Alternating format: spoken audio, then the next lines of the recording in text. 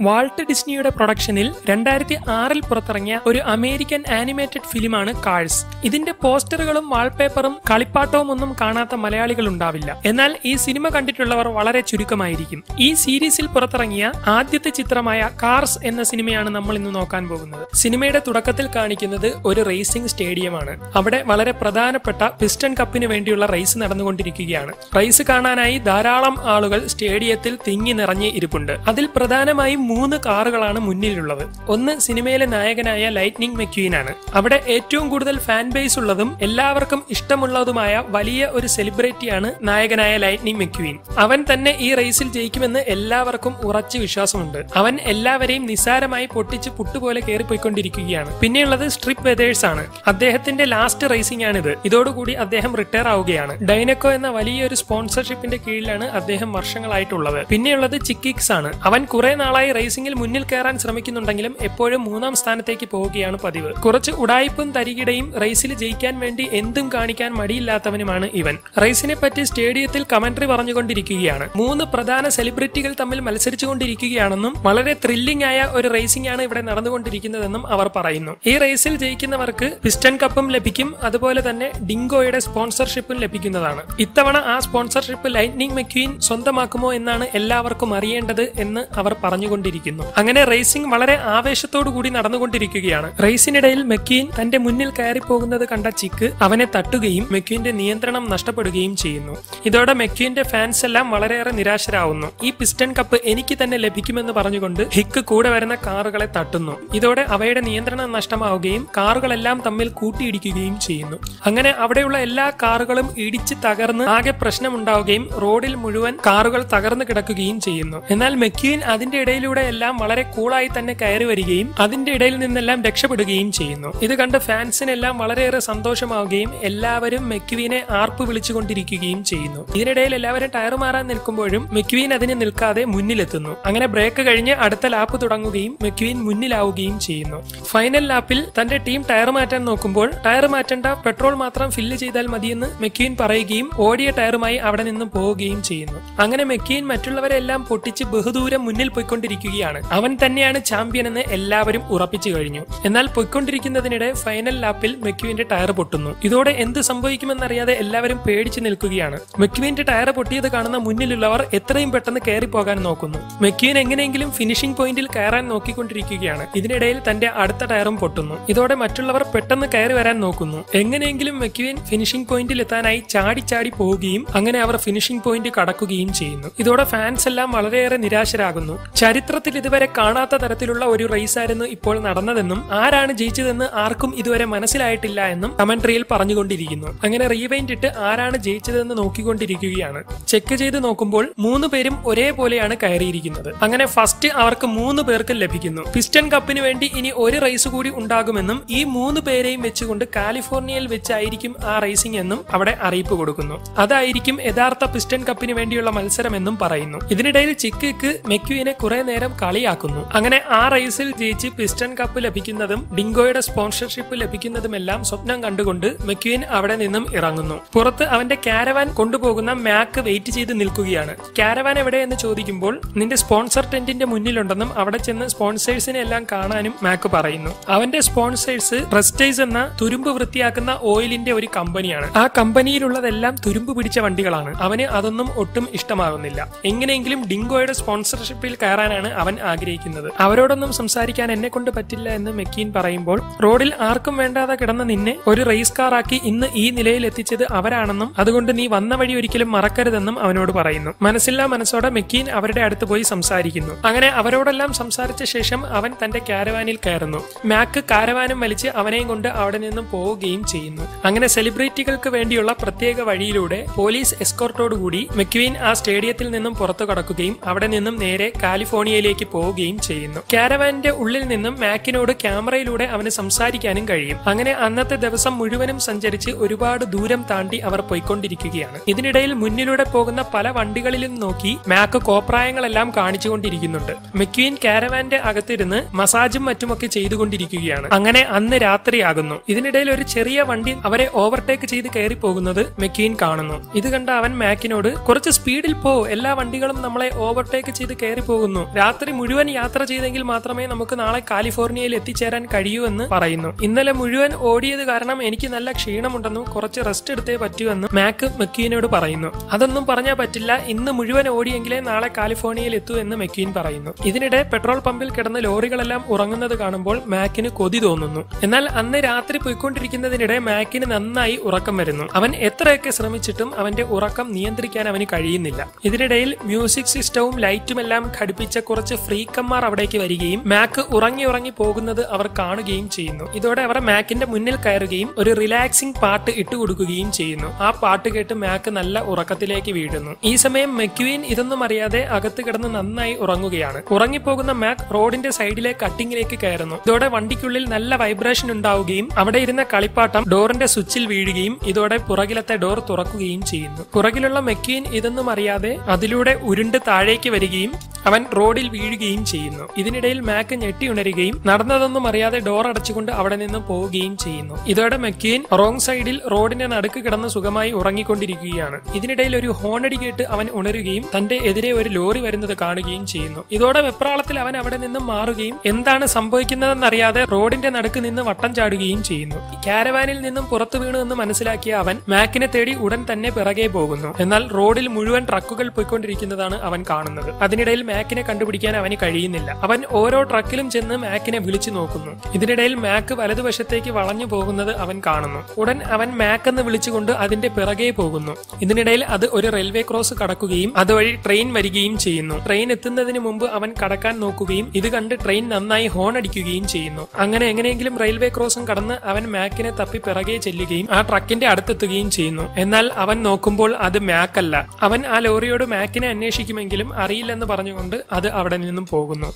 ഇതോടെ നിരാശനാകുന്ന മെക്കീൻ മാക്കിനെ അന്വേഷിച്ച് ആ റോഡിലൂടെ നല്ല സ്പീഡിൽ പോകുന്നു. ഇത് അവിടെ ഉറങ്ങിക്കിടന്ന ഒരു പോലീസ് കാണുകയും ഈ പ്രദേശത്ത് ഓവർ സ്പീഡിൽ പോകുന്നത് ആരടാ എന്ന് പറഞ്ഞുകൊണ്ട് അവന്റെ പിറകെ ചെല്ലുകയും ചെയ്യുന്നു. ഒരുപാട് വർഷങ്ങൾക്ക് ശേഷമാണ് ഇത്രയും സ്പീഡിൽ ആ പോലീസ് പോകുന്നത്. അതിന്റെ ബുദ്ധിമുട്ടുകളെല്ലാം അയാൾക്കുണ്ട്. ഉടൻ അടുത്തായി ഒരു ടൗൺ മെക്കീൻ കാണുന്നു. എന്നാൽ ഇതിനിടെ തന്റെ നിയന്ത്രണം നഷ്ടമാവുകയും മെക്കീൻ ഒരു മുള്ളുവേലിയിൽ കയറി കുടുങ്ങുകയും ശേഷം ആ ടൗണിലുള്ള കടകളിലെ സാധനങ്ങളെല്ലാം ഇടിച്ചു നശിപ്പിക്കുകയും ചെയ്യുന്നു. ഇതിനിടെ മെക്വീൻ അവിടെ ഇരുന്ന ഒരു പ്രതിമയിൽ കയറി ഉടക്കുന്നു. മെക്വീൻ പേടിച്ച് വളരെ വേഗത്തിൽ അവിടെ നിന്നും പോകുമ്പോൾ ആ പ്രതിമ തറയിൽ ഉരയുകയും അവിടുത്തെ റോഡ് മുഴുവൻ നാശമാവുകയും ചെയ്യുന്നു.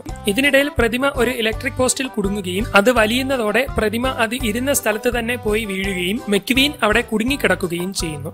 ഇതോടെ പോലീസ് അവിടെ എത്തുകയും അവനെ അറസ്റ്റ് ചെയ്യുകയും ചെയ്യുന്നു. പിറ്റേന്ന് മെക്കീനെ വരവേൽക്കാനായി മീഡിയക്കാരെല്ലാം കാലിഫോർണിയയിൽ വെയിറ്റ് ചെയ്ത് നിൽക്കുകയാണ്. എന്നാൽ കാരവാൻ തുറക്കുന്നതോടെ അതിനുള്ളിൽ മെക്യൂനെ കാണുന്നില്ല. മെക്യുവിനെ കാണാതായ കാര്യം അപ്പോഴാണ് മാക്ക് അറിയുന്നത്.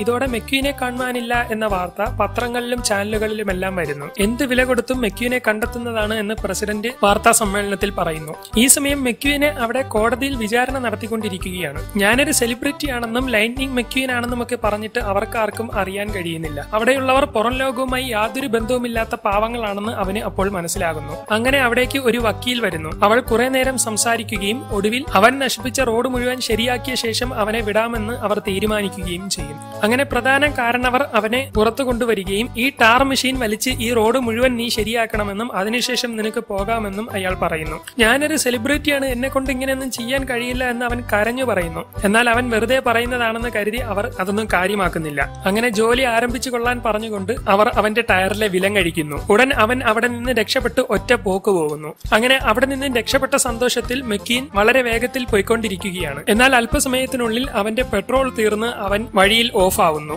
അവിടെ പോലീസും വക്കീലും വെയിറ്റ് ചെയ്ത് നിൽക്കുന്നുണ്ട്. ഇന്നലെ രാത്രി ഫുൾ ടാങ്ക് ആയിരുന്നതാണല്ലോ എന്തു പറ്റിയെന്ന് അവൻ അവരോട് ചോദിക്കുന്നു. ഇവിടെയുള്ളവരൊക്കെ അത്ര മണ്ടന്മാരാണെന്ന് നീ വിചാരിച്ചോ? നീ ഈ പരിപാടി കാണിക്കുമെന്ന് അറിയാവുന്നത് കൊണ്ട് ഇന്നലെ നീ ഉറങ്ങിക്കിടന്നപ്പോൾ നിന്റെ പെട്രോൾ മുഴുവൻ ഊറ്റിയെടുത്തു എന്ന് അവർ പറയുന്നു. അങ്ങനെ വേറെ നിവർത്തിയൊന്നുമില്ലാതെ അവൻ ആ ടാറ് വണ്ടിയും വലിച്ച് ആ റോഡ് നന്നാക്കാൻ ശ്രമിച്ചുകൊണ്ടിരിക്കുന്നു. ഇതിനിടയിൽ ടാറിന്റെ കുറച്ചു ഭാഗം അവന്റെ ദേഹത്തേക്ക് തെറിക്കുകയും ഇതുപോലൊന്നും ഇതുവരെ എന്റെ ദേഹത്ത് പറ്റിയിട്ടില്ലെന്നും അവൻ പറയുന്നു. അത് ഞാൻ ഇപ്പോൾ ശരിയാക്കി തരാമെന്ന് പറഞ്ഞുകൊണ്ട് മേറ്റർ അവന്റെ നേർക്ക് കാറി തുപ്പാൻ ശ്രമിക്കുന്നു. അത് വേണ്ട എന്ന് പറഞ്ഞുകൊണ്ട് അവൻ അവിടെ നിൽക്കുന്ന ഫയർ എഞ്ചിനോട് കുറച്ച് വെള്ളം കൊണ്ടുവന്ന് ഒഴിക്കാൻ പറയുന്നു. എന്നാൽ അവൻ അതൊന്നും കേൾക്കാതെ അവിടെ നിന്നും പോകുന്നു. ഇതോടെ അവന് വലിയ സങ്കടമാവുകയും ഞാനൊരു ഫേമസ് ആയിട്ടുള്ള റേസ് കാർ ആണെന്നും നിങ്ങൾക്ക് എന്നെ കണ്ടിട്ട് അങ്ങനെയൊന്നും തോന്നുന്നില്ല എന്നും അവരോട് ചോദിക്കുന്നു. റേസ് കാർ ആയിട്ട് ഓടുന്നത് ഫെറാറി അല്ലേ? പക്ഷെ നീ ഫെറാറി അല്ലല്ലോ എന്ന് അവർ ചോദിക്കുന്നു. അത് യൂറോപ്യൻ റേസുകളിലാണ് ഓടുന്നതെന്നും ഞാൻ പിസ്റ്റൺ കപ്പിലാണ് മത്സരിക്കുന്നതെന്നും അവൻ പറയുന്നു. അപ്പോൾ നീ ലോക്കൽ ആണല്ലേ എന്ന് പറഞ്ഞുകൊണ്ട് അവർ അവിടെ നിന്നും പോകുന്നു. ഇതിനിടയിൽ മെക്യൂനെ കാണാനില്ല എന്ന വാർത്ത അവിടുത്തെ റേഡിയോയിൽ കേൾക്കുന്നത് അവൻ ശ്രദ്ധിക്കുന്നു. കാലിഫോർണിയയിൽ ആദ്യമായി വന്നു ചേർന്നത് ചിക്കിക്കാണെന്നും അതിലൂടെ പറയുന്നു. ആദ്യം വന്നു ചേരുന്നത് മാത്രമല്ല റേസിൽ ഒന്നാമതെത്തുന്നതും ഞാനായിരിക്കുമെന്ന് ചിക്ക് റേഡിയോയിലൂടെ പറയുന്നു. ഇത് കേട്ട് ചിക്കിന് ഡിങ്കോയുടെ സ്പോൺസർഷിപ്പ് കിട്ടുന്നതിനെ പറ്റി അവൻ ആലോചിക്കുകയും അവന് നിരാശ തോന്നുകയും ചെയ്യുന്നു. ഉടൻ അവൻ മേറ്ററിനെ വിളിക്കുകയും ഈ റോഡ് തീർത്തുടനെ എനിക്ക് പോകാമല്ലോ അതല്ലേ നമ്മൾ തമ്മിലുള്ള ഡീൽ? എന്ന് ചോദിക്കുകയും ചെയ്യുന്നു. തീർത്താൽ അപ്പോൾ തന്നെ നിനക്ക് പോകാമെന്ന് അവൻ പറയുന്നു. ശരിതാ നോയിക്കോ ഞാൻ ഇപ്പൊ തീർത്തു തരാമെന്ന് മെക്കീൻ പറയുകയും തന്റെ മുഴുവൻ പവറും എടുത്തുകൊണ്ട് അത് വലിച്ചുകൊണ്ട് പോവുകയും ചെയ്യുന്നു. അല്പസമയത്തിനുള്ളിൽ മെയിൻ കാരണവരുടെ അടുത്തേക്ക് മേറ്റർ വരികയും അവനത് തീർത്തു എന്ന് പറയുകയും ചെയ്യുന്നു. ഒരു മണിയാകുന്നതിന് മുമ്പ് അവൻ തീർത്തോ എന്ന് പറഞ്ഞുകൊണ്ട് അവർ അത് നോക്കാനായി പോകുന്നു. തന്റെ ജോലി തീർത്ത സന്തോഷത്തിൽ മെക്കീൻ നിൽക്കുകയാണ്. അവൻ ശരിയാക്കിയ റോഡ് കാണാനായി വന്നു നോക്കുന്ന അവർ ഞെട്ടിപ്പോകുന്നു. ഒരു ഫിനിഷിംഗും ഇല്ലാതെ മൊത്തം അലങ്കോലമായിട്ടാണ് ആ റോഡ് ചെയ്തു വെച്ചിരിക്കുന്നത്. മേറ്റർ ആ റോഡിൽ കയറുകയും വിറച്ച് വിറച്ച് അതിലൂടെ പോവുകയും ചെയ്യുന്നു. ഇങ്ങനെയല്ല നീ ചെയ്യേണ്ടത്. ഈ റോഡ് നല്ല ക്ലീനും നീറ്റും ആയിരിക്കണമെന്ന് അവൾ പറയുന്നു. നിങ്ങളുടെ ഈ സ്ഥലത്തിന് ഇത് തന്നെ ധാരാളമാണെന്ന് അവൻ മറുപടി പറയുന്നു. ഇത് കേട്ട് അവർക്ക് നല്ല സങ്കടം വരുന്നു. ഇതിനിടെ കാരണവർ അവിടേക്ക് വരികയും ഈ റോഡ് നല്ല രീതിയിൽ തീർത്തിട്ട് നിന്നെ വിടാമെന്നാണ് നമ്മൾ തമ്മിലുള്ള ഡീലെന്നും അതുകൊണ്ട് നല്ലതുപോലെ തീർത്തേ പറ്റുള്ളൂ എന്നും പറയുന്നു. ഈ പണി ചെയ്യാൻ ഞാനൊരു ബുൾഡോസർ അല്ലെന്നും ഞാനൊരു റേസ് കാർ ആണെന്നും അവൻ പറയുന്നു. ഓഹോ നീ അത്ര വലിയ റേസ് കാർ ആണോ? എന്നാൽ നമുക്കൊരു റേസ് വെച്ചാലോ? എന്ന് അയാൾ പറയുന്നു. നിങ്ങളെന്ത് തമാശ പറയുകയാണോ? എന്ന് അവൻ ചോദിക്കുന്നു. ധൈര്യമുണ്ടെങ്കിൽ നീ എന്നോടൊപ്പം റേസ് വെക്ക്. നീ ജയിക്കുകയാണെങ്കിൽ ഈ റോഡ് മുഴുവൻ ഞാൻ തന്നെ ക്ലീൻ ചെയ്തോളാമെന്ന് അയാൾ അവനോട് പറയുന്നു. ഇത് കേട്ട് മെക്കീൻ അയാളെ കളിയാക്കിക്കൊണ്ട് നിങ്ങൾക്ക് അറുപത് കിലോമീറ്റർ സ്പീഡ് വരെ കയറാൻ ഒരു മൂന്നര വർഷമെങ്കിലും വേണ്ടി വരുമെന്ന് പറയുന്നു. നീ ഡയലോഗ് അടിക്കാതെ പറ്റുമെങ്കിൽ റേസ് വയ്ക്കാൻ അയാൾ പറയുന്നു. ശരി ഞാൻ തയ്യാറാണെന്ന് അവനും പറയുന്നു. അങ്ങനെ അവർ തമ്മിൽ റേസിംഗിന് തയ്യാറായി നിൽക്കുകയാണ്. അവിടെയുള്ളവരെല്ലാം അത് കാണാൻ വന്ന് നിൽക്കുന്നുണ്ട്. അവർ ആദ്യമായിട്ടാണ് ഒരു റേസിംഗ് കാണുന്നത്. അങ്ങനെ അവർ റേസിന് തയ്യാറാവുകയും അവരുടെ വണ്ടി സ്റ്റാർട്ട് ചെയ്യുകയും ചെയ്യുന്നു.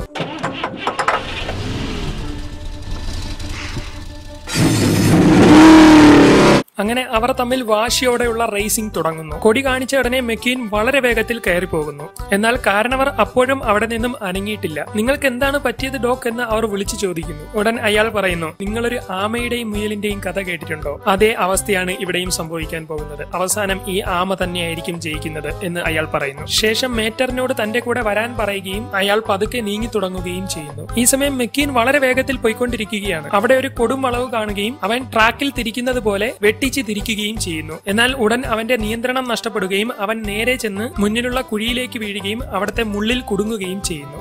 അവനെ അവിടുന്ന് നിന്ന് വലിച്ചു കയറ്റാൻ മേറ്ററിനോട് പറഞ്ഞ ശേഷം ഡോക്ക് ആ റൈസ് ഫിനിഷ് ചെയ്യുന്നു. അങ്ങനെ റോഡ് ക്ലീൻ ചെയ്യുന്ന ജോലി മെക്യൂന് തന്നെ കിട്ടുന്നു. അങ്ങനെ അന്ന് രാത്രി മുഴുവൻ എനിക്കിതൊന്നും ഇഷ്ടപ്പെടുന്നില്ല എന്നെ ഇവിടെ നിന്നൊന്ന് പുറത്തു വിടൂ എന്ന് പറഞ്ഞുകൊണ്ട് ഉറക്കെ കരഞ്ഞു കരഞ്ഞ് അവൻ ആ ജോലികൾ തീർത്തുകൊണ്ടിരിക്കുകയാണ്. പിറ്റേന്ന് രാവിലെ എഴുന്നേറ്റ് നോക്കുന്ന അവർ ഞെട്ടിപ്പോകുന്നു. അവിടുത്തെ പകുതി റോഡ് അവൻ നല്ല നീറ്റും ക്ലീനുമാക്കി ഇട്ടിരിക്കുകയാണ് ഇത് അവർക്ക് വളരെയേറെ ഇഷ്ടപ്പെടുന്നു. കുറെ നേരം അവരെല്ലാവരും ആ റോഡിൽ കിടന്ന് കളിക്കുന്നു. എന്നാൽ അവിടെ എങ്ങും മെക്യൂവിനെ കാണാൻ കഴിയുന്നില്ല. അവൻ എവിടെ പോയെന്ന് മനസ്സിലാവുന്നില്ലല്ലോ എന്ന് പറഞ്ഞുകൊണ്ട് ഡോക്ക് നിൽക്കുന്നു. ഈ സമയം മെക്യൂൻ ഇന്നലെ പരാജയപ്പെട്ട ടേൺ എടുക്കാൻ വേണ്ടി പരിശ്രമിച്ചു കൊണ്ടിരിക്കുകയാണ് അങ്ങനെ ഡോക്ക് അവിടേക്ക് ചെല്ലുന്നു. അവിടെ നിൽക്കുന്ന പോലീസിനോട് ചോദിക്കുമ്പോൾ ഇന്നലെ മുതൽ ഇവൻ ഈ ടേൺ പ്രാക്ടീസ് ചെയ്യണമെന്നും പറഞ്ഞ് ബഹളമായിരുന്നുവെന്നും അതുകൊണ്ട് രാവിലെ ഞാൻ ഇവനെ കൂട്ടിക്കൊണ്ട് വന്നതാണെന്നും പറയുന്നു. എത്ര ശ്രമിച്ചിട്ടും അവനെ കൊണ്ട് ആ ടേൺ എടുക്കാൻ കഴിയുന്നില്ല. ഇവനെ ഞാൻ നോക്കിക്കൊള്ളാമെന്നും നിങ്ങൾ തിരിച്ചു പോകാനും പോലീസിനോട് പറയുന്നു. മെക്യൂൻ അവിടെ ടേൺ എടുക്കാൻ പറ്റാതെ പരാജയപ്പെട്ടുകൊണ്ടിരിക്കുകയാണ്. ഡോക്ക് ഹഡ്സൺ അവന്റെ അടുത്തേക്ക് ചെല്ലുകയും ഇത് ട്രാക്ക് അല്ല കണ്ടമാണെന്നും ട്രാക്കിൽ നീ തിരിയുന്നത് പോലെ അല്ല ഇവിടെ തിരിയേണ്ടതെന്നും അയാൾ പറയുന്നു. നിങ്ങൾ കൂടുതൽ പഠിപ്പിക്കേണ്ട എന്ന് പറഞ്ഞുകൊണ്ട് അവൻ അവിടെ നിന്നും പോകുന്നു. മണ്ണ് റോഡിൽ വലത്തേക്കാണ് തിരിയുന്നതെങ്കിൽ ഓട്ടോമാറ്റിക് ആയിട്ട് ഡ്രിഫ്റ്റ് ആവുമെന്നും ആ സമയം ഇടത്തേക്ക് തിരിക്കണമെന്നും അയാൾ പറയുന്നു. അപ്പോൾ വലത്തോട്ട് പോകണമെങ്കിൽ ഇടത്തോട്ട് തിരിക്കണമെന്നാണോ നിങ്ങൾ പറയുന്നത്? വളരെ വലിയ ഒരു ഐഡിയ ആയി പോയി എന്ന് പറഞ്ഞുകൊണ്ട് അവൻ അയാളെ കളിയാക്കി അവിടെ നിന്നും പോകുന്നു. അങ്ങനെ ഡോക്ക് അവിടെ നിന്നും പോകുന്നു. ഈ സമയം മെക്കീൻ ഇനി അയാൾ പറഞ്ഞതിൽ എന്തെങ്കിലും കാര്യമുണ്ടാകുമോ? എന്തായാലും ഒന്ന് നോക്കിക്കളയാമെന്ന് പറഞ്ഞുകൊണ്ട് മലത്തേക്ക് പോകാനായി ഇടത്തേക്ക് തിരിക്കുന്നു അങ്ങനെ അവൻ വീണ്ടും തന്റെ ജോലി തുടർന്നുകൊണ്ടിരിക്കുന്നു. ഇതിനിടയിൽ അവിടെയുള്ളവർ അവന്റെ അടുത്തേക്ക് വരികയും നീ എന്റെ കടയിൽ നിന്ന് ടയർ വാങ്ങുകയാണെങ്കിൽ നാല് ടയറിന് ഒരു സ്റ്റെപ്പിന് ഫ്രീ തരാമെന്ന് പറയുന്നു. എനിക്ക് ടയർ തന്നെ എപ്പോഴും ഫ്രീ ആയിട്ടാണ് കിട്ടുന്നത് എന്ന് അവൻ പറയുന്നു. ഇതിനിടയിൽ സാലി അവന്റെ അടുത്തേക്ക് വരികയും ഫയർ എഞ്ചിനെ കൊണ്ട് അവനെ വൃത്തിയാക്കിപ്പിക്കുകയും ചെയ്യുന്നു. ശേഷം അവർ തമ്മിൽ കുറെ നേരം സംസാരിക്കുകയും അവർ കമ്പനിയാവുകയും ചെയ്യുന്നു. അവൾ നടത്തുന്ന മോട്ടലിൽ രാത്രി അവനോട് സ്റ്റേ ചെയ്യാൻ പറയുകയും അവളുടെ റൂമിന് തൊട്ടടുത്തായി അവനും സ്റ്റേ ചെയ്യാനായി ഒരു റൂം അവൾ കൊടുക്കുന്നു. അങ്ങനെ അന്ന് രാത്രിയാകുന്നു. മാറ്ററും മെക്കീനും തമ്മിൽ സംസാരിച്ച് വന്നുകൊണ്ടിരിക്കുകയാണ്. നീ ഇന്ന് രാത്രി എന്റെ കൂടെ കഴിഞ്ഞോളാൻ അവൻ പറയുന്നു. സാലി എനിക്ക് അവളുടെ മോട്ടലിൽ ഒരു റൂം തന്നിട്ടുണ്ടെന്നും ഞാൻ അവിടെ തങ്ങാമെന്നും അവൻ പറയുന്നു. ഇത് കേട്ട് മാറ്റർ കുറെ നേരം മെക്യൂനെ കളിയാക്കുന്നു. അങ്ങനെ മാറ്റർ അവനെ കളിയാക്കി കളിയാക്കി പോയിക്കൊണ്ടിരിക്കുകയാണ്. നീ ഇങ്ങനെ റിവേഴ്സിൽ പോയാൽ നിനക്ക് അപകടം പറ്റുമെന്ന് നീ നേരെ പോകാനും പറയുന്നു. റിവേഴ്സിൽ പോകുന്ന കാര്യത്തിൽ എന്നെ വെല്ലാൻ ലോകത്ത് ഇതുവരെ ഒരുത്തനും ജനിച്ചിട്ടില്ല എന്ന് അവൻ പറയുന്നു. നിനക്ക് സംശയമുണ്ടെങ്കിൽ ദാ നോക്കിക്കോ എന്ന് പറഞ്ഞുകൊണ്ട് അവൻ റിവേഴ്സിൽ പോയി കാണിക്കുന്നു. റിവേഴ്സിൽ കുറെ നേരം നല്ല സ്പീഡിൽ പോയ ശേഷം അവൻ മെക്യുവിന്റെ അടുത്ത് ചെല്ലുന്നു. നീ കലക്കിയെന്നും ഇത് എങ്ങനെയാണ് നിനക്ക് സാധിച്ചതെന്നും അവൻ ചോദിക്കുന്നു. ഇതൊക്കെ നമ്മുടെ മിററിന്റെ വേലയാണെന്ന് അവൻ പറയുന്നു. നിനക്ക് വേണമെങ്കിൽ ഇത് ഞാൻ പഠിപ്പിച്ചു തരാമെന്നും അവൻ പറയുന്നു. അത് വേണം ചിലപ്പോൾ എനിക്ക് റേസിൽ അത് ഉപകാരപ്പെട്ടേക്കാമെന്ന് മെക്യൂൻ പറയുന്നു. നീ റേസ് റേസ് എന്ന് എപ്പോഴും പറയാൻ അതത്ര വലിയ സംഭവമാണോ? എന്ന് മേറ്റർ അവനോട് ചോദിക്കുന്നു. ഇത് നീ വിചാരിക്കുന്നത് പോലെയുള്ള ഒരു ചെറിയ റൈസ് അല്ല എന്നും ഇതിൽ ജയിക്കണമെന്നത് എന്റെ ജീവിതത്തിലെ ഏറ്റവും വലിയ ആഗ്രഹമാണെന്നും മെക്യൂൻ പറയുന്നു. ഇതിൽ ഞാൻ ജയിച്ചു കഴിഞ്ഞാൽ എനിക്ക് വലിയ സ്പോൺസറിനെയും സ്വന്തമായി ഹെലികോപ്റ്ററും ഒക്കെ കിട്ടുമെന്ന് അവൻ പറയുന്നു. എനിക്ക് വളരെ നാളായിട്ടുള്ള ആഗ്രഹമാണ് ഹെലികോപ്റ്ററിൽ യാത്ര ചെയ്യണമെന്നത്. നീ എനിക്കത് സാധിച്ചു തരുമോ എന്ന് മാറ്റർ ചോദിക്കുന്നു. തീർച്ചയായും ഞാനത് സാധിച്ചു തരുമെന്ന് അവൻ പറയുമ്പോൾ നീയാണ് എനിക്കിവിടെ കിട്ടിയതിൽ ഏറ്റവും നല്ല ഫ്രണ്ട് എന്നും അവൻ പറയുന്നു. ശേഷം അവൻ അവിടെ നിന്നും പോവുകയും മക്കീൻ സാലിയുടെ മോട്ടലിൽ തന്റെ റൂമിലേക്ക് ചെല്ലുകയും ചെയ്യുന്നു. ഇതിനിടെ സാലി അവന്റെ അടുത്തേക്ക് വരികയും നീയും മാറ്ററും തമ്മിൽ പറയുന്നത് ഞാൻ കേട്ടു എന്ന് പറയുകയും ചെയ്യുന്നു. നീ ഹെലികോപ്റ്റർ റൈഡ് കൊടുക്കാമെന്നൊക്കെ പറഞ്ഞ് അവനെ പറ്റിച്ചത് വളരെ മോശമായി പോയി എന്നും അവൻ വെറും ഒരു പാവമാണെന്നും അവൾ പറയുന്നു. അവൻ നീ പറയുന്നത് അങ്ങ് വിശ്വസിച്ചു എന്ന് തോന്നുന്നു എന്ന് അവൾ പറയുന്നു. ശേഷം അവൾ അവിടെ നിന്നും പോകുന്നു. പിറ്റേന്ന് അവൻ റേസിൽ പങ്കെടുക്കുന്ന ഒരു സ്വപ്നം കാണുകയും റൂമിൽ നിന്ന് എണീച്ച് ദേഷ്യത്തോടെ പുറത്തു വന്ന് എനിക്ക് എങ്ങനെയെങ്കിലും ഇവിടെ നിന്ന് പോണമെന്ന് പറഞ്ഞുകൊണ്ട് അവിടെ കിടക്കുന്ന ഒരു പാട്ട തട്ടിക്കളയുകയും ചെയ്യുന്നു. അത് നേരെ ഡോക്കിന്റെ റൂമിലേക്ക് ചെന്ന് വീഴുകയും അവിടെ എന്തോ താഴെ വീഴുന്ന ശബ്ദം കേൾക്കുകയും ചെയ്യുന്നു. ഇത് കേട്ട് അവൻ ഡോക്കിന്റെ റൂമിലേക്ക് കയറി ചെല്ലുന്നു. ആ റൂമിൽ നോക്കിക്കൊണ്ടിരിക്കുന്നതിനിടെ അവിടെ ഞെട്ടിക്കുന്ന കാഴ്ച അവൻ കാണുന്നു. അവിടെ ഒരു പഴയ പിസ്റ്റൺ കപ്പിരിക്കുന്നു. അതിൽ ആയിരത്തി തൊള്ളായിരത്തി അമ്പത്തൊന്നിലെ ചാമ്പ്യൻ ആണെന്ന് എഴുതിയിട്ടുണ്ട്. ഇത് കണ്ട് അവൻ അത്ഭുതപ്പെടുന്നു. അപ്പോഴാണ് അദ്ദേഹത്തിന്റെ യഥാർത്ഥ പേര് ഹഡ്സൺ ഹോണറ്റ് ആണെന്ന് അവന് മനസ്സിലാകുന്നത്. തൊട്ടടുത്തേക്ക് നോക്കുമ്പോൾ വേറെയും രണ്ട് പിസ്റ്റൺ കപ്പുകൾ അവിടെ ഇരിപ്പുണ്ട്. അത് അൻപത്തിരണ്ടിലെയും അൻപത്തിമൂന്നിലെയും കപ്പുകളാണ്. തൊട്ടടുത്തായി ഒരു പഴയ പത്രവാർത്തയും ഇരിക്കുന്നുണ്ട്. എക്കാലത്തെയും ചാമ്പ്യനായ ഹഡ്സൺ ഹോണറ്റിന്റെ മൂന്നാമത്തെ പിസ്റ്റൺ കപ്പിനെ പറ്റിയുള്ള വാർത്തയാണത്. ഇതിനിടയിൽ ഡോക് ഹഡ്സൺ അവിടേക്ക് വരുന്നു. നിങ്ങൾ പിസ്റ്റൺ കപ്പ് ജയിച്ചതാണല്ലേ? എന്നൊക്കെ അവൻ ചോദിക്കുമെങ്കിലും എന്റെ റൂമിൽ നിന്ന് ഇറങ്ങിപ്പോകാൻ അദ്ദേഹം പറയുന്നു. ഇനി മേലാൽ എന്റെ റൂമിൽ കയറി പോകരുതെന്നും അദ്ദേഹം പറയുന്നു. ഞാനിത് അറിഞ്ഞിരുന്നില്ല എന്നും നിങ്ങളായിരുന്നോ ഹഡ്സൺ ഹോണറ്റ് എന്നും ചോദിക്കുന്നു. ഒരേ സീസണിൽ ഒരുപാട് റേസുകൾ ജയിച്ചിട്ടുള്ളത് ചരിത്രത്തിൽ നിങ്ങൾ മാത്രമേ ഉള്ളൂ എന്നും അവൻ പറയുന്നു. എന്നാൽ ഇതൊന്നും അദ്ദേഹം കേൾക്കാൻ തയ്യാറാകുന്നില്ല. നിങ്ങളുടെ മൂന്ന് ട്രോഫിയും ഞാൻ കണ്ടു എന്ന് അവൻ പറയുന്നു. നിനക്കത് വലിയ ട്രോഫി ആയിരിക്കാം. എനിക്കത് വെറും കപ്പ് മാത്രമാണ് എന്ന് പറഞ്ഞുകൊണ്ട് അദ്ദേഹം ഡോറടയ്ക്കുന്നു. ഇതോടെ മക്യൂൻ ഓടി മറ്റുള്ളവരുടെ അടുത്തേക്ക് ചെല്ലുകയും ഡോക്ക് ഹഡ്സൺ വലിയ ഒരു റേസിംഗ് കാർ ആണെന്നുള്ള വിവരം നിങ്ങൾക്കറിയാമോ എന്നും അവൻ ചോദിക്കുന്നു. ഇത് കേട്ട് അവരെല്ലാം കളിയാക്കി ചിരിക്കുന്നു ഇത് സത്യമാണെന്നും അദ്ദേഹം പഴയ കാലത്തെ ഒരു വലിയ ചാമ്പ്യൻ ആണെന്നും അവൻ പറയുന്നു. ഇരുപത് മൈൽ സ്പീഡിൽ പോലും പോകാൻ കഴിയാത്ത അദ്ദേഹമാണോ വലിയ ചാമ്പ്യൻ എന്ന് പറഞ്ഞുകൊണ്ട് അവർ അവനെ കളിയാക്കുന്നു. അദ്ദേഹം മൂന്ന് കപ്പുകൾ ജയിച്ച ആളാണെന്ന് അവൻ പറയുന്നു. കപ്പ് മാത്രമേ ഉള്ളൂ സോസർ ഇല്ലേ എന്ന് മേറ്റർ ചോദിക്കുന്നു. ഇതെല്ലാം ഹഡ്സൺ ഹോണറ്റ് കണ്ടുകൊണ്ടിരിക്കുകയാണ്. എന്നാൽ അവൻ എന്തൊക്കെ പറഞ്ഞിട്ടും അവർ കേൾക്കാൻ തയ്യാറാകുന്നില്ല. ഇനിയൊന്നും പറഞ്ഞിട്ട് കാര്യമില്ലെന്ന് അവന് മനസ്സിലാകുന്നു. അങ്ങനെ പെട്രോൾ അടിക്കാനായി അവൻ നിൽക്കുകയും സാലി വന്ന് അവന് ഫുൾ ടാങ്ക് പെട്രോൾ അടിക്കുകയും ചെയ്യുന്നു. ഇത് കണ്ട് പോലീസ് നീ എന്താണ് കാണിക്കുന്നത്? എന്ന് ചോദിക്കുന്നു. അത്രയും അടിച്ചാൽ അവൻ ഇവിടെ നിന്നും ഓടിക്കളയുമെന്നും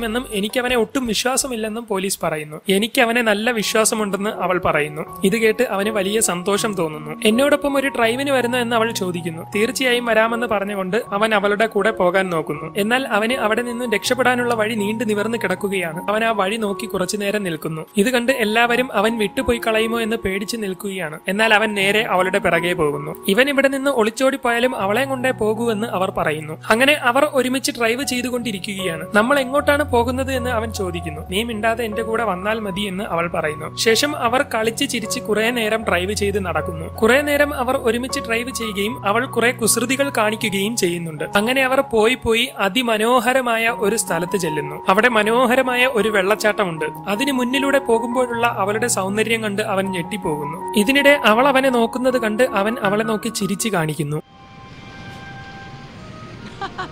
അങ്ങനെ കുറെ ദൂരം പിന്നിട്ട ശേഷം അവൾ അവനെയും കൊണ്ട് ഒരു മോട്ടലിന്റെ മുന്നിൽ ചെല്ലുന്നു. ഇതെന്താണെന്ന് അവൻ ചോദിക്കുമ്പോൾ ഒരു കാലത്ത് മെയിൻ റോഡിലെ ഏറ്റവും ഫേമസ് ആയ ഒരു സ്ഥലമായിരുന്നു ഇതെന്ന് അവൾ മറുപടി പറയുന്നു. ഇതിനിടെ അവൻ അവളോട് നീ ഒരു നല്ല പോർഷെ അല്ലേ? ഫാസ്റ്റർ കാർ ആയിട്ടുള്ള നീ എങ്ങനെയാണ് ഈ പഴയ ആളുകളുടെ കൂടെ കൂടിയത്? എന്ന് അവൻ ചോദിക്കുന്നു. ഞാൻ ആദ്യം കാലിഫോർണിയയിലായിരുന്നു. അവിടുത്തെ എന്റെ ജീവിതം വളരെ ബുദ്ധിമുട്ടായതിനാൽ ഞാൻ അവിടെ നിന്നും ഓടിപ്പോന്നു. അങ്ങനെ ഇവിടെ എത്തിയപ്പോൾ ഞാൻ ബ്രേക്ക് ഡൗൺ ആവുകയും ഇവിടെയുള്ള ഡോക് ഹഡ്സൺ എന്നെ ശരിയാക്കാൻ വേണ്ടതെല്ലാം തന്ന് എന്നെ സഹായിക്കുകയും ചെയ്തു. അത് കാരണം എനിക്ക് അവരെ വിട്ട് പോകാൻ തോന്നിയില്ല എന്ന് അവൾ പറയുന്നു. എനിക്ക് മനസ്സിലായി എന്നാൽ നിന്റെ പ്രശ്നങ്ങളെല്ലാം മാറിയ ശേഷം നീ ഇവിടെ വിട്ട് നിന്റെ തരക്കാരുടെ കൂടെ പോകേണ്ടതല്ലേ എന്ന് അവൻ ചോദിക്കുന്നു. എനിക്ക് ഈ സ്ഥലം വളരെയേറെ ഇഷ്ടപ്പെട്ടുവെന്നും അതുകൊണ്ട് ഞാനിവിടെ നിൽക്കാൻ തീരുമാനിച്ചതാണെന്നും പറഞ്ഞുകൊണ്ട് അവൾ മുന്നിലെ കാഴ്ചകൾ കാണിച്ചു കൊടുക്കുന്നു. അവിടുത്തെ കാഴ്ച കണ്ട് അവൻ ഞെട്ടിപ്പോകുന്നു. താഴത്തെ ഹൈവേയിലൂടെ ധാരാളം വണ്ടികൾ പോകുന്നുണ്ട്. അതുവഴി പോകുന്നതിനാൽ ഇത്രയും മനോഹരമായ കാഴ്ചകൾ അവർക്ക് കാണാൻ കഴിയുന്നില്ല എന്ന് അവൻ പറയുന്നു. നാൽപ്പത് വർഷങ്ങൾക്ക് മുമ്പ് ഇവിടെ ഈ റോഡൊന്നും ഇല്ലായിരുന്നുവെന്നും ഇപ്പോഴാണ് ഈ റോഡെല്ലാം വന്നതെന്നും അവൾ പറയുന്നു. ശേഷം അവൾ ആ സ്ഥലത്തിന്റെ കഥ പറയുന്നു. അന്ന് എല്ലാ വാഹനങ്ങളും ഈ റൂട്ടിലൂടെയായിരുന്നു കാലിഫോർണിയയിലേക്ക് പോയിക്കൊണ്ടിരുന്നത്. എല്ലാവരും ഇവിടെയുള്ള എല്ലാ കാഴ്ചകളും ആസ്വദിച്ചായിരുന്നു പോയിക്കൊണ്ടിരുന്നത്.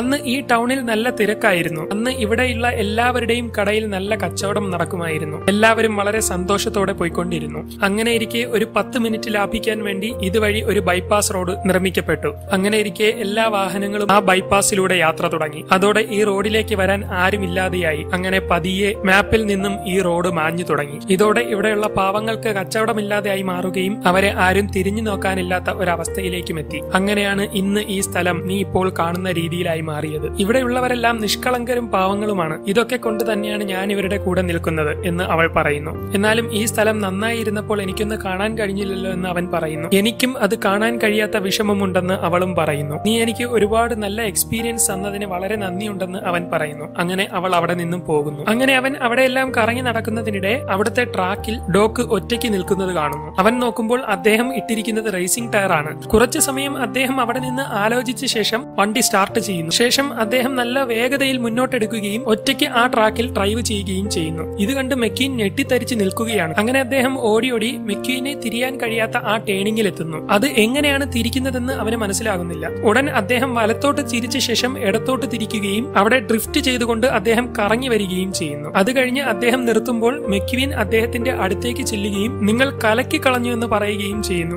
താൻ ചെയ്തതെല്ലാം അവൻ കണ്ടു എന്ന് മനസ്സിലാക്കിയ അദ്ദേഹം ഉടൻ തന്നെ അവിടെ നിന്നും പോയി കളയുന്നു. അവൻ അദ്ദേഹത്തിന്റെ പിറകെ ചെല്ലുകയും നിങ്ങൾ വളരെ നന്നായി തന്നെ ആ ട്രെയിനിങ് എടുത്തു എന്നും എനിക്ക് വളരെ ഇഷ്ടപ്പെട്ടു എന്നും ഒക്കെ പറയുന്നു. എന്നാൽ അദ്ദേഹത്തിന് അതൊന്നും ഇഷ്ടപ്പെടുന്നില്ല. മര്യാദയ്ക്ക് എവിടെ നിന്നും വെളിയിൽ പോകാൻ അദ്ദേഹം അവനോട് പറയുന്നു. അവൻ എന്തൊക്കെ പറഞ്ഞിട്ടും അദ്ദേഹം ഒന്നും കേൾക്കാൻ തയ്യാറാകുന്നില്ല. ഇത്രയും ടോപ്പിലിരുന്ന് നിങ്ങൾ എന്തുകൊണ്ടാണ് റേസിംഗ് വിട്ടിട്ട് പൊയ്ക്കളഞ്ഞത് എന്ന് അവൻ ചോദിക്കുന്നു. ഇത് കേൾക്കുന്ന അദ്ദേഹം അവന്റെ അടുത്തേക്ക് വരികയും ഞാൻ റേസ് വിട്ടു പോയതാണെന്നാണോ നീ വിചാരിക്കുന്നത്? എന്ന് അദ്ദേഹം ചോദിക്കുകയും ചെയ്യുന്നു. ശേഷം അദ്ദേഹം അവിടെ ഒരു പത്ര കട്ടിങ് അവനെ കാണിക്കുന്നു. അത് മുപ്പത് വർഷങ്ങൾക്ക് മുമ്പ് അദ്ദേഹത്തിന് റേസിംഗിനിടയിൽ പറ്റിയ ഒരു ആക്സിഡന്റിന്റെ വാർത്തയാണ്. വിധി എന്നെ റേസിൽ നിന്നും വിലക്കിയതാണെന്ന് അദ്ദേഹം പറയുന്നു. ആ അപകടത്തിന് ശേഷം മാസങ്ങളോളം കട്ടപ്പുറത്ത് ഞാൻ കിടപ്പിലായിരുന്നു. കുറച്ച് നാളുകൾക്ക് ശേഷം എങ്ങനെയെങ്കിലും ഓടാൻ കഴിയുന്ന അവസ്ഥയിൽ ഞാൻ തിരിച്ചു ചെന്നപ്പോൾ അവർ പറഞ്ഞത് എന്താണെന്നറിയുമോ നിന്റെ കാലം കഴിഞ്ഞു. നിന്റെ സ്ഥാനത്ത് പുതിയ ആളുകൾ വന്നു. ഇനി നിന്നെ ഇവിടെ ആവശ്യമില്ല. അതോടെ എനിക്ക് റേസിൽ നിന്നും വിരമിക്കേണ്ടി വന്നു. അതോടെ എന്റെ കോലമെല്ലാം മാറ്റി ഞാനൊരു സാധാരണ മനുഷ്യനായി ജീവിതം തുടർന്നു. ഈ ഫോട്ടോ കാണുമ്പോഴെല്ലാം വീണ്ടും പഴയ കാര്യങ്ങൾ ഓർത്ത് ഞാൻ നീറിക്കൊണ്ടിരിക്കുകയാണ്. എന്നെങ്കിലും നിന്നെ പോലെ ഒരുത്തൻ വന്ന് എന്നെ തിരിച്ചറിയുമെന്ന് ഞാൻ സ്വപ്നത്തിൽ പോലും വിചാരിച്ചിരുന്നില്ല. നിനക്കിതൊന്നും പറഞ്ഞാൽ ഒരിക്കലും മനസ്സിലാവില്ല. ഇവിടെയുള്ള ആളുകളെല്ലാം നീ കണ്ടതല്ലേ? ഓരോരുത്തർക്കും പരസ്പരം എത്രത്തോളം വിശ്വാസമാണെന്ന്. അങ്ങനെയുള്ള ഇവരെ പിരിഞ്ഞു വരാൻ എന്റെ മനസ്സനുവദിച്ചില്ല അത്രയും പറഞ്ഞ ശേഷം അദ്ദേഹം അവിടെ നിന്നും പോകുന്നു. പിറ്റേന്ന് രാവിലെ ഉറക്കം എഴുന്നേറ്റ് വരുന്ന മേറ്റർ അവിടത്തെ കാഴ്ച കണ്ട് ഞെട്ടിപ്പോകുന്നു. മെക്കീൻ നശിപ്പിച്ച റോഡ് മുഴുവൻ വളരെ നീറ്റാക്കി ഇട്ടിരിക്കുകയാണ് ആ റോഡ് കണ്ട് എല്ലാവരും അവിടേക്ക് വരുന്നു. നമ്മൾ ഉറങ്ങിയ സമയം കൊണ്ട് അവൻ പണി മുഴുവൻ പൂർത്തിയാക്കിയ ശേഷം തിരിച്ചു പോയി എന്ന് അവർ പറഞ്ഞുകൊണ്ടിരിക്കുന്നു. അവൻ പോയെന്നറിഞ്ഞ് സാലിക്ക് വളരെയേറെ വിഷമമാവുകയും അവൾ അവിടെ നിന്നും പോവുകയും ചെയ്യുന്നു. പോലീസുകാരൻ വിതുമ്പുന്ന കാണുമ്പോൾ നിങ്ങൾ കരയുകയാണോ എന്ന് കൂടെയുള്ളവർ ചോദിക്കുന്നു. അവൻ ജോലി മുഴുവൻ തീർത്തതിന്റെ ആനന്ദ കണ്ണീരാണിതെന്ന് അദ്ദേഹം പറയുന്നു. അവരെല്ലാവരും നല്ല വിഷമിച്ച് നിൽക്കുകയാണ്. ഇതിനിടെ ഫയർ എഞ്ചിൻ കറഞ്ഞുകൊണ്ട് അവിടെ നിന്നും പോകുന്നു. ഇതിനിടെ മെക്കീൻ അവിടേക്ക് വരികയും അവൻ എന്തിനാ കരയുന്നത് എന്ന് ചോദിക്കുകയും ചെയ്യുന്നു. മെക്കീൻ പോയതിന്റെ വിഷമത്തിൽ കരഞ്ഞു പോയതാണ് എന്ന് അവൻ മറുപടി പറയുന്നു. പെട്ടെന്ന് അവൻ മെക്കീനെ ശ്രദ്ധിക്കുകയും അവന് വളരെയേറെ സന്തോഷമാവുകയും ചെയ്യുന്നു. നീ ഗുഡ് ബൈ പറയാതെ പോവില്ല എന്ന് എനിക്ക് അറിയാമായിരുന്നു എന്ന് അവൻ പറയുന്നു. നിനക്കേതോ റേസിന് പോണമെന്ന് പറഞ്ഞില്ലേ? അതിന് പോയിക്കൊള്ളൂ. ഞാൻ വേണമെങ്കിൽ നിനക്ക് എസ്കോർട്ട് വരാമെന്ന് അദ്ദേഹം പറയുന്നു. എനിക്ക് പോണം പക്ഷേ ഈ ടയറിൽ പോകാൻ പറ്റില്ല. എന്റെ ടയർ മാറ്റി തരുന്നത് ആരാണ് എന്ന് അവൻ ചോദിക്കുന്നു. ഇതോടെ ടയർ കട നടത്തുന്നവന് വളരെയേറെ സന്തോഷമാവുകയും അവൻ മെക്കീന് ടയർ മാറ്റി കൊടുക്കുകയും ചെയ്യുന്നു. വർഷങ്ങൾക്ക് ശേഷം ശേഷമാണ് എനിക്കൊരു കസ്റ്റമറെ കിട്ടിയതെന്ന് അവൻ പറയുന്നു.